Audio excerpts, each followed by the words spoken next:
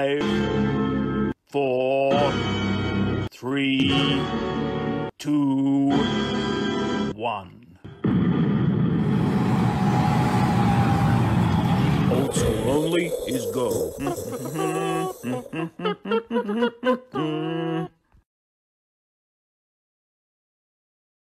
G'day and welcome back to the channel. Today I'm finishing off my back rails from a tub and then want to get this thing out the front and get some perspective.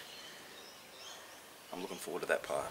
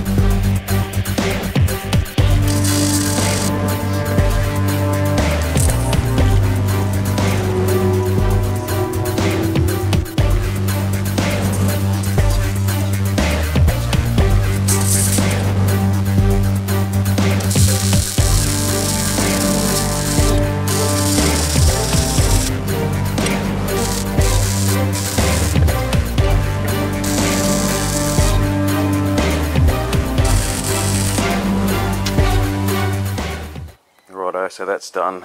Um, that's stepped in here and over and around. When I flip the chassis upside down, I'll do all the welding underneath. Should be nice and strong. So yeah, we have a spot to put our tray now. Let's stick it on.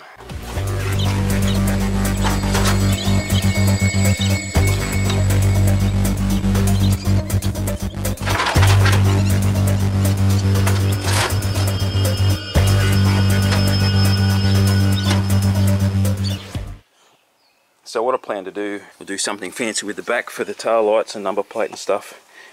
Timber in the back with some steel reinforcing of course. She's coming together nice.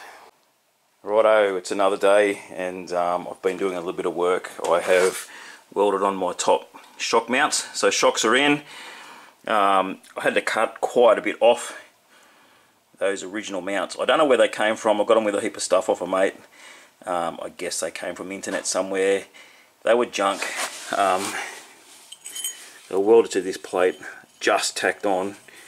Didn't take hardly anything to cut them off. Um, so the welding wasn't really sufficient. And then I had to shorten them. Um, so I had travel up and down from this point. So I'm pretty happy with how that turned out. So now we have front shocks on the beast. Much less bouncy bouncy. I've still got to do the rears really. I've only got weld on a bracket on either side because the rears are done. They were mounted on that old chassis. Just sort of weld the top brackets on. I'll do that a little bit later on. Um, what I want to do, I really want to get it outside, but my roof level is not right, that back panel. If you don't know about that back panel, it's been a nightmare. There is um, a couple of uh, videos on that one, but uh, I need to take probably another inch out of the top of it, but I don't want to take it out of the window space because the window's small enough, the back window, um, because the roof is going to be on too much of an angle. It's just not right, so I'm going to take another inch out of the top of that, lower the roof down, then I can tack my side panels in, and I really want to get this thing outside. It's been raining, it's been a pain. You know what, I'm not going to do that right now because I just had a look and it just frustrates the hell out of me and I just don't feel like it. So I'm going to do that another day what I want to do is get this thing outside. So let's just get it outside. There's a break in the rain. Um, I've got to move some cars around. Let's get some side perspective of this thing. I have a radiator. We'll stick the grill shell on. Um, we'll get an idea what the thing's going to look like.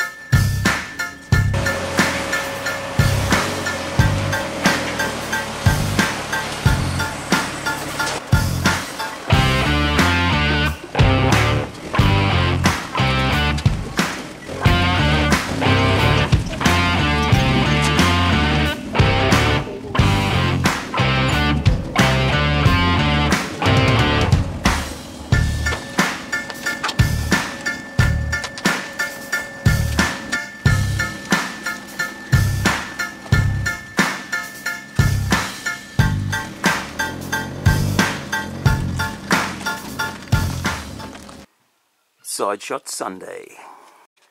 Well, there you go. I finally got the uh, elusive side shot. My radiator arrived the other day. I ordered a shorter one because I need to drop the grill down a little bit. So that's going to work out really nicely. I don't know how much longer I've got before the rain comes, but I really can't afford to get this thing wet. Too much bare metal.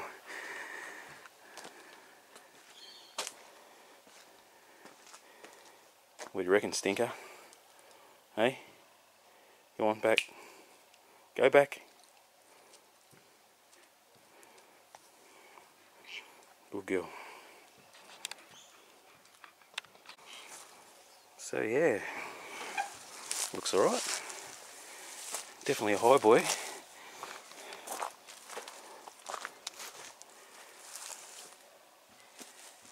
I've had to drag everything out to get this thing out here. So when the rain comes, it's going to be a mad rush to get everything back in. But yeah, I've got some nice big headlights. I need to get some, um, they're nine and a half inch. I'm not sure what they were off. Um, maybe an old Chevy. They're a commercial headlight. They're huge, and uh, I just need reflectors and lenses for those, so they'll go on there. And the more I play, the more I'm thinking fenderless. So there you have it. We finally got it outside. I'm seeing things I've got to do, but it's all part of the build. And really, people don't believe me when I say this, but I'm on the downhill slide. Most of it's done. It's um, it's just a big Lego set. It's all the nitty gritties that take a bit of time. Um, most of the nutting out's done. I've got a little bit more to do on the rear end. Um, I've got the steering sorted, just got to get that part. Um, the body's going to be the biggest issue. The body's a massive job. And I'm referring to this abomination of a panel. I'll get it, I'll get it sorted. But it's just slowed me right down. Imagine if that was done. I'd be so far ahead. You can really see the difference in height there and that's sitting a little bit high. That's how much I've got to take out of that panel. I'm really happy how the front suspension's turned out. Although it's stock height. There's more to lowering the front end one of these than just putting a dropped axle in it. All your spindles are different because you've got to allow for your wishbones or your steering. So when you drop it four inches, generally this gets in the way. Um, so there's a lot more work involved. I could put a two inch drop in it. I've probably got one of those axles kicking around, but this will do for now. It's working. But I'm happy with how that's turned out. Suspension looks good.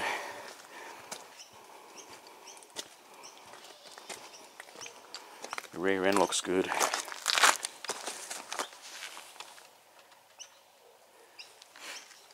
Tray looks good. I won't be running those wheels on the front. I've got some 17 inch um, 35 wire wheels and tyres for the front and I'm probably running those wheels on the back but we'll see. So anyway that's it from me. The bad weather's on its way. I've got to put these things away now. A um, little bit of a this and that video but I really wanted to get this thing out and it's cheered me up a bit which is awesome. So let's put it away. Stay tuned, be good to your mates, like, subscribe, all that stuff and I'll see you on the next one. Cheers.